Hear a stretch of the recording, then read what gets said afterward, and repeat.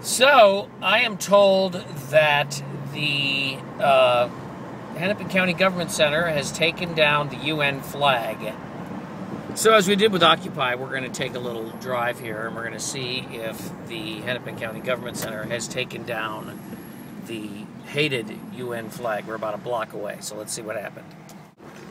And then, of course, because of the light rail and all this other nonsense down here, we got to go around the block, so we have to go three blocks out of our way to drive by the Hennepin County government. So, but that's okay. Well, there's one flag. Here we have the. We're going to come up on the one of the government centers here. This is the jail right over here, actually. There we have three flags. That is the inside of Government Center, and you can see that there is an American flag flying in there. This is some other government building, the Ministry of Truth, apparently. That must be what that is. There is a flagpole over there. You probably can't make it out, but over there is a flagpole with only the American flag flying.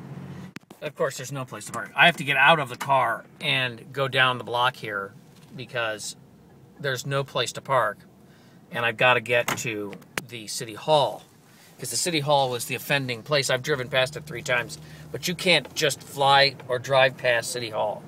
You have to go through all this other machinations to get to city hall.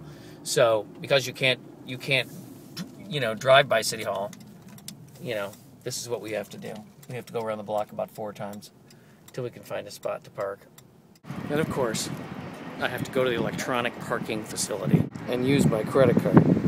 So now I have 38 minutes. Oh, where's the receipt?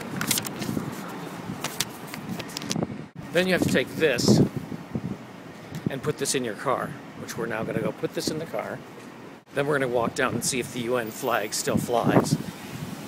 It wasn't so many, it wasn't so long ago when I worked at the Evil Neighbor that I actually ran down this street pell mell on March 30th, 1981, the day that uh, Reagan was shot. And I was working at, uh, remember, I was having lunch at the haberdashery down at the Reds, and I want, and there used to be right in here, right now it's a golfing place. There used to be this fantastic Naugahyde bar, like uh, they had in uh, Mary Tyler Moore. This was like the Mary Tyler Moore bar, and it was Naugahyde. It was red and black, and it had all these 60s lighting fixtures right in there. I thought that was amazing. And this, of course, is City Hall. And over there is Government Plaza. Where's the Occupy dude? We had one Occupy dude. Occupy is gone, apparently. I don't see Occupy down here anywhere. Yeah, here's uh, Hennepin County Plaza, Government Plaza. Don't see any Occupy protesters here. But there are three flags flying. And one is the, you can't make them out, but one is the Hennepin County flag, the other is the state of Minnesota, and finally the U.S. flag. And then right across the street, as I drove by earlier, same situation, but no UN flags. So that is thanks to um, Jeff Johnson and uh, Mark Stenglein, who listened to Davis and Emmer and uh, said, you know, Stenglein is the one that said, I'll sponsor a resolution for you if you want to uh, get rid of the UN flag.